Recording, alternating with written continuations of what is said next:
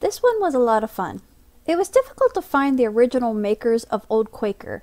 I thoroughly researched some of the earlier distributors, hoping to find something there, but somehow I finally found out that the name that I was looking for was the Corning family. So let's start unpacking what we found on this episode of Antique Bottle Stories.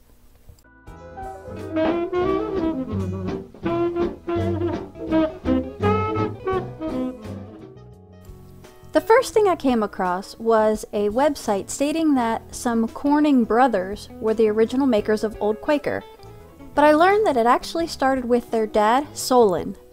So Solon was born in 1810 in New Hampshire, seemingly settled down in Cleveland, Ohio before marrying Almira when he was 23, and they ended up having five boys and a girl. The records begin in 1850. He's 40 years old. The census shows him as a merchant, which I think he's already in the whiskey business by now because another 1850 census document shows some interesting information about his status. So here's Solon, and it asks how much improved and unimproved acres do you have? Meaning how many acres are being worked. He shows that he owns close to 200 acres, 125 are improved, and 67 are unimproved. Cash value of the farm is $7,000.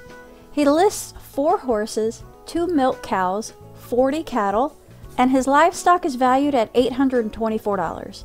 Just think about that. We're in 1850. I mean, he's pretty wealthy. Then he reports no wheat or rye, but 3,500 bushels of Indian corn. I've never actually seen one of these records before. Maybe I'm only seeing it because he's a brewery, because it seems that it's related to the business.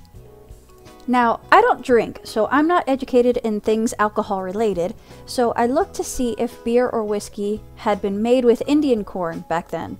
And I found an article that said that beer is most often made with barley, which is malted and then brewed with hops before being fermented.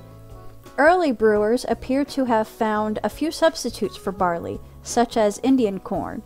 In fact, they say a number of early beers were made with little or no grains. So the company's name is S. Corning and Company. It's not until 1858 that something pops up in the newspaper. This is pretty awesome though. You don't usually see a complete list of what the company is selling and at what price. This is so cool. So they're selling alcoholic items along with burning fluids, which I'm assuming is for their lamps. I'm sure there are plenty of other uses as well. 1860 is when we start seeing some of the boys coming of working age.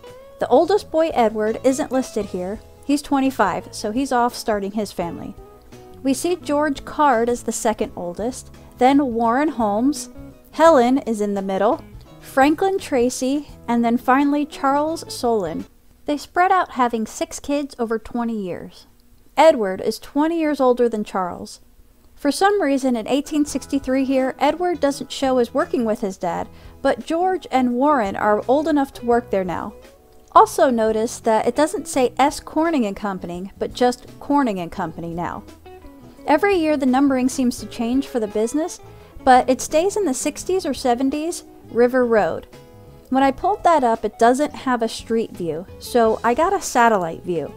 I don't think it's standing anymore. But this area is known as Whiskey Island, and there's a Whiskey Island Drive here. So in 1868, Edward dies at the age of 33. I'm not sure why he died so young. The following year, Solon, the dad, died at age 59 of cancer. The following year, in 1870 census, Warren takes his two younger brothers to live with him and his family. Franklin has just come of age to work, and he's now working with Warren at the plant. A couple years later, 1875, the youngest, Charles, is now 20 and he's bookkeeping at Merchants National Bank. It's still just Franklin and Warren at the distillery. In 1878, they have a new partner, J. Lee Newton, joining the team. This says that this image was used for Old Quaker since October 1878. Warren and Franklin then moved the operations from Cleveland, Ohio to Peoria, Illinois in 1880. This 1880 directory also points out that Franklin is the president of Monarch Distilling, which, from my understanding, is either right next door or right across the street from the main Corning building. 1882, the youngest brother Charles joins in on the fun.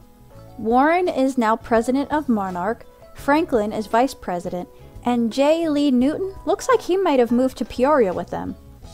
Eleven years after the move to Peoria, in 1891, Corning and Company is still showing up in the Cleveland directory, so I guess they are running both locations. Now we're coming up to the Whiskey Trust. I'm still not quite exactly sure how all this works, so let me try to explain it the way I'm understanding it. So apparently in the whiskey world, fluctuations in the market caused distilleries to either have too much or too little at any given time. Federal taxes played a role as well. The ones with too much would flood the market, underbidding everyone else out there, causing problems for others. There was a group of distilleries that formed an agreement to not overproduce, but no one really followed this agreement. Then a, quote, trust was put together.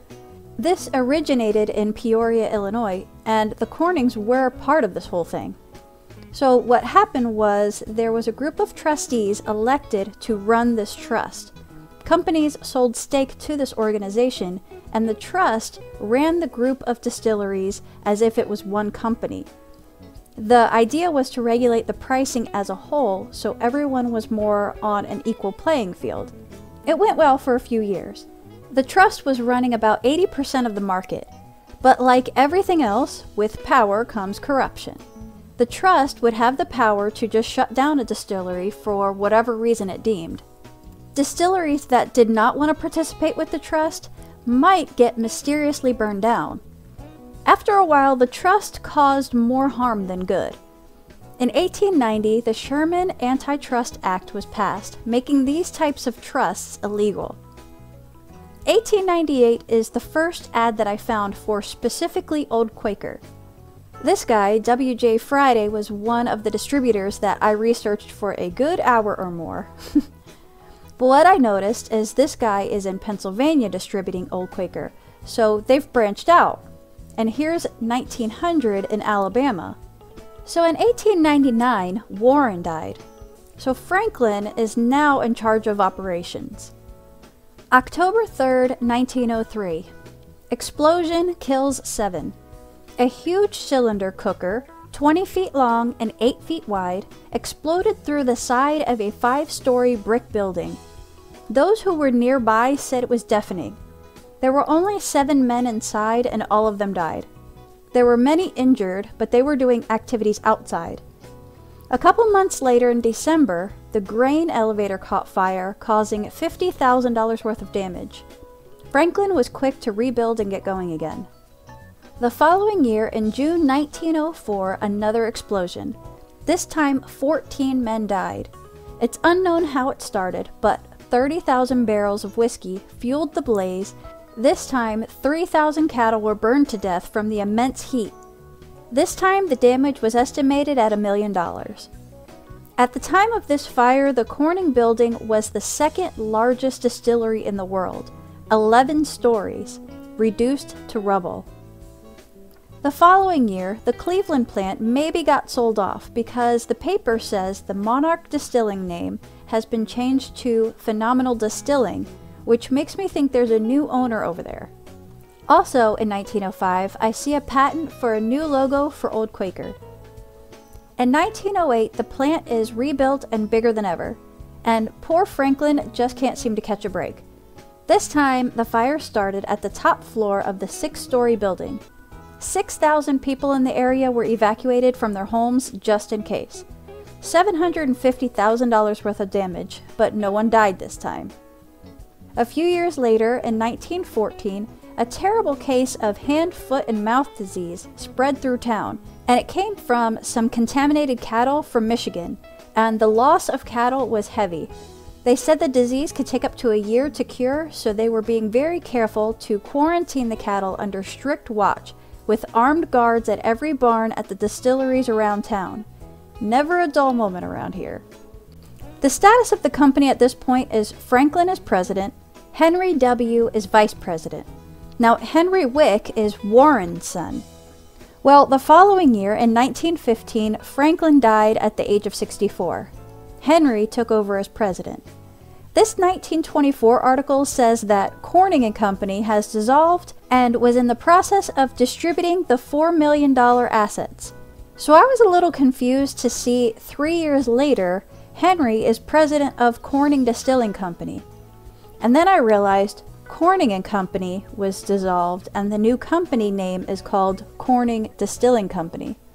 I think with the dissolving of Corning and Company, the old Quaker brand was sold off to a company from New York called Schenley.